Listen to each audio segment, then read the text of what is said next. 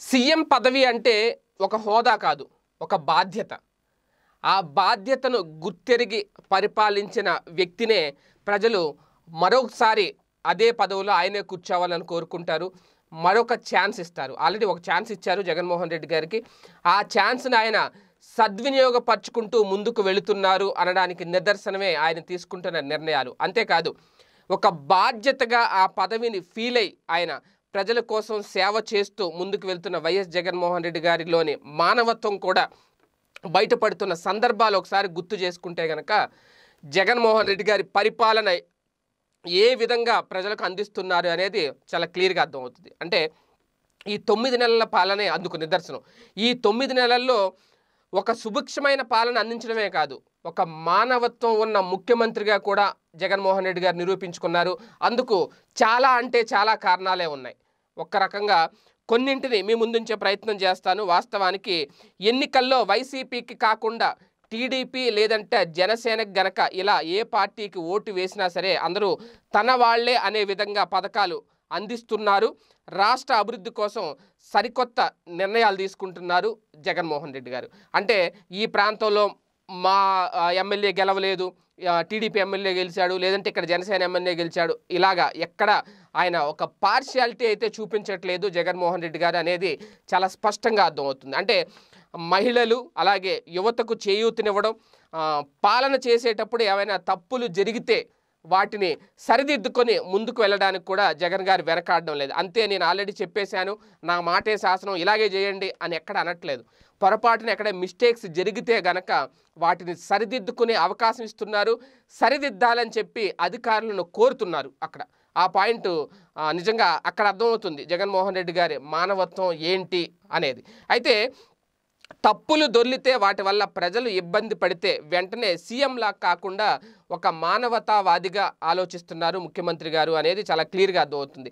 ఎందుకంటే జగన్ అధికారంలోకి వచ్చాక చాలాసార్లు అంటే ఇలా చేసే చాలాసార్లు ఇలాంటి పరిస్థితులు ఎదురయ్యాయి. ఇటీవల పెన్షన్ విషయంలోనూ అలాగే రేషన్ కార్డులు అనర్హుల ఏరివేత అర్హులకు మాత్రమే పథకాలు అందాలనే ఉద్దేశంతో చాలామందికి రేషన్ కార్డులు తొలగించడం జరిగింది. చాలామందికి పింఛన్లు తొలగించడం జరిగింది.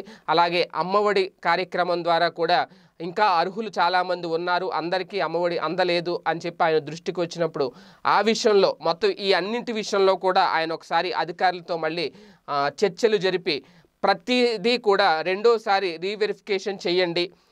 ఎవరైనా అర్హులు అనర్హులుగా గుర్తించబడితే వెంటనే వాళ్ళని అర్హులుగా చేర్చి వాళ్ళకి పథకాలు అందచేయండి అంతే తప్ప మేము ఆరు లక్షల మందికి ఎక్కువ మందికి ఇచ్చేసాం గతంతో పోల్చుకుంటే ఎక్కువ మందికి ఇచ్చేస్తున్నాం అని చెప్పి ఆ నెంబర్ కౌంట్ కాదు.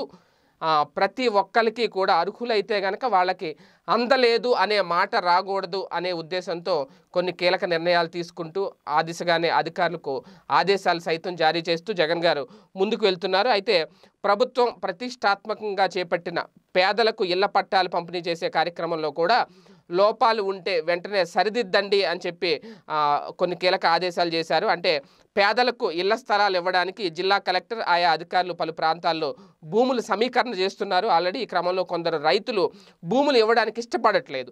సో అలాంటి వారి దగ్గర బలవంతంగా భూమి సేకరిస్తున్నారు అనే ఆరోపణలు కూడా వినిపిస్తున్నాయి. ఈ క్రమంలోనే జగన్మోహన్ రెడ్డి గారు రంగంలో రంగంలోకి దిగి అధికారులకు కూడా వార్నింగ్ ఇచ్చారు అనే సమాచారం. పేదలకు ఇళ్ళ స్థలాలు ఇచ్చే రూపంలో మనం మంచి కార్యక్రమం చేస్తున్నామని కానీ ఇదే సమయంలో ఎవరి ఉసురు తగలకూడదు.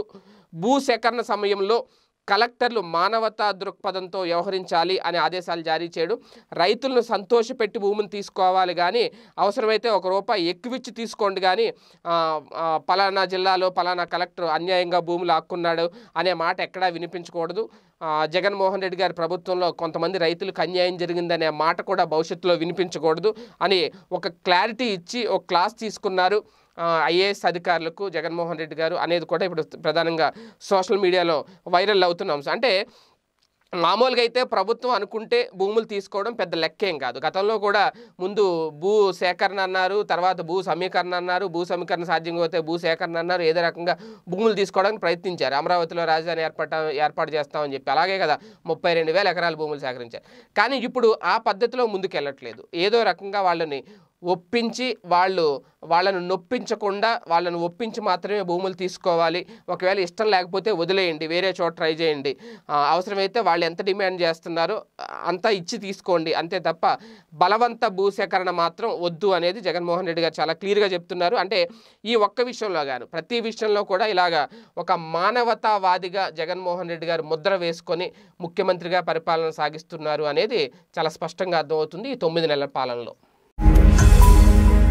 ఈ వీడియో గనక మీకు నచ్చినట్లయితే లైక్ చేయండి షేర్ చేయండి. మరిన్ని వీడియోస్ కోసం మా ఛానల్ను సబ్స్క్రైబ్ చేయండి.